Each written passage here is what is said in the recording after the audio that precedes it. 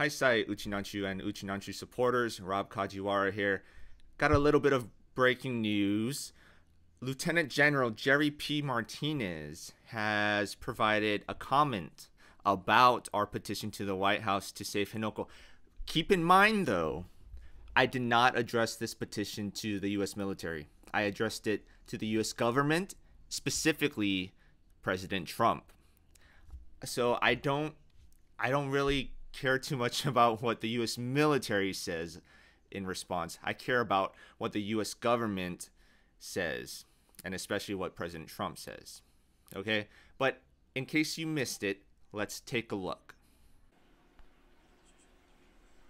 I think there was, I think 200,000 signatures were collected and delivered to the White House about stopping the transfer to Henoko.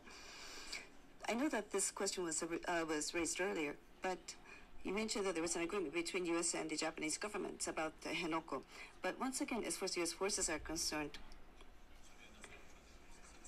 how would you like to explain to the people who petitioned for stopping the transfer to Henoko? Thank you very much. Yeah, thank you for that question. Look, people petition for many things all over the world for many causes. And I can't address every single thing that somebody petitions. But what I can tell you is that we are actively and greatly engaged with the government of Japan to find a solution to the Futenma replacement. And um, we've worked hard with the government. I think the government has worked hard with the citizens of Okinawa and the government in Okinawa to try to resolve the issue. Um, but it is a contentious issue. Uh, and I, I, think you could also find a bunch of signatures on the other side that see good reasons why we should uh, move those aircraft out of Futenma and move them up north to Henoko. So my hope is that the, the dialogue will continue, um, that we can we can come to some type of a solution that that works for everybody. Um, but this is an issue really uh, that the government of Japan is going to work with the with the government officials in Okinawa to resolve. So there you go. The lieutenant general is saying that the U.S. government is working with the Japan government about this issue. Okay. He didn't say they're working with the Okinawan government. He said they're working with the Japan government on this issue. And then the Japan government, he said, is working with Okinawa government. Okay? But look, look, this is how it's working. US, US and Japan talking about Okinawa issues. Not not including Okinawa at all. Okay? They're not including Okinawa. They're they're two two nations are talking about an issue for another nation, Okinawa. And this this is the problem. This is the crux of the problem here is that Okinawa ok- Okinawans' right, democratic right to self-determination is being ignored. And this is what really needs to be fixed. Okinawa has to reassert its right to self-determination. Okinawa was an independent country up until 1879 when Japan illegally annexed it. Japan went on to annex many other countries, including Korea and China and many more. After World War II ended, all those countries received their independence back except for Okinawa because Okinawa is just being used for military bases. That's it. Okinawans, we have our own unique history, culture, languages, and identity. We have the right to reestablish our self determination. And that's what needs to happen in order to protect Okinawa and in order to protect Henoko. We all know that the Japanese government under Prime Minister Shinzo Abe is extremely prejudiced against Okinawans. They don't listen to Okinawans' opinions at all. In fact, they often do the opposite of what Okinawa is requesting.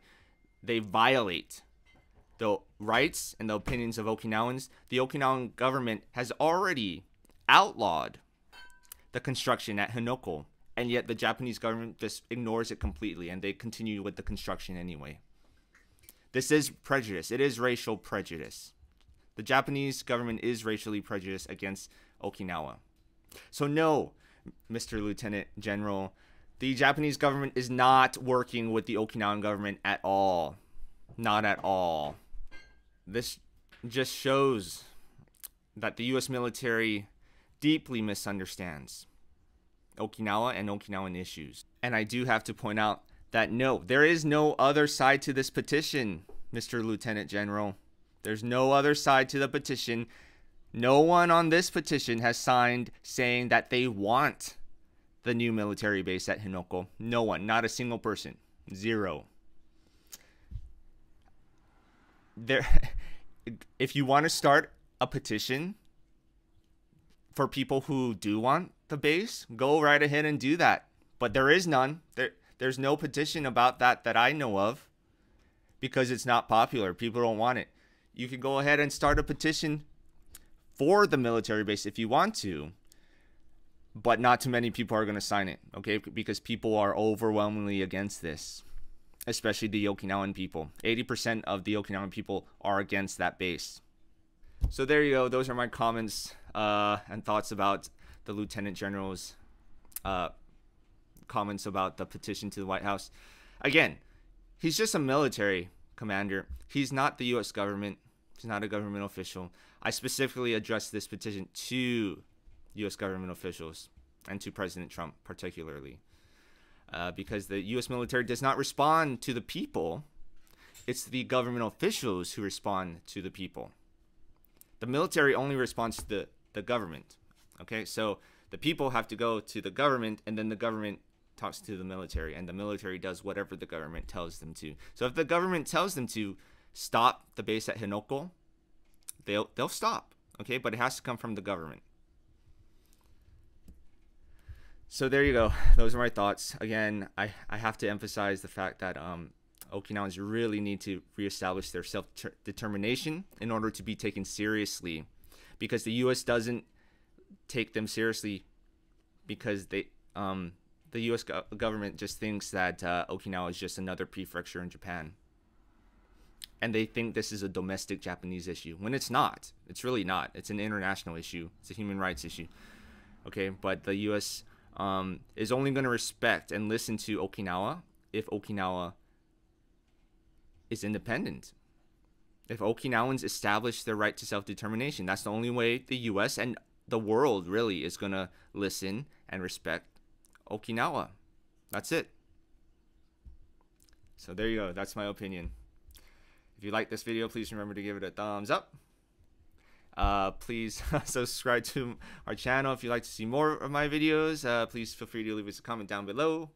Um, doing these things just helps us promote our message across YouTube. Thanks again for watching. I'll see you guys later. Mata Mataya.